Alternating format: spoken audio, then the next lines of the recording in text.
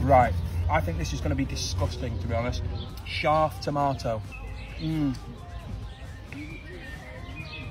That is a zero.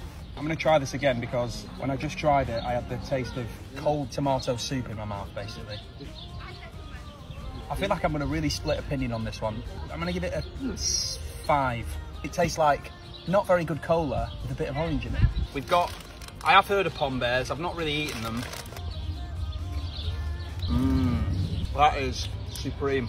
I'm to give that 8 out of 10. The next thing I'm about to eat, which I now realise is licorice. I'm not really looking forward to this because I hate licorice. Salos, that's original.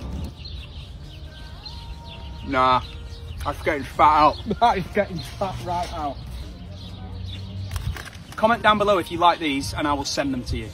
Right, uh, we've got one more thing. Quite a, quite a German, is that quite a German thing? Ahoy browser. I know what these are because you can write, you can write your name on stuff. Seven. I am done with my German snack review. I'll do another one, um, but I'll do it with the worst foods for me to try here in Germany. I want you to make it so bad so that this would be up there with one of the best.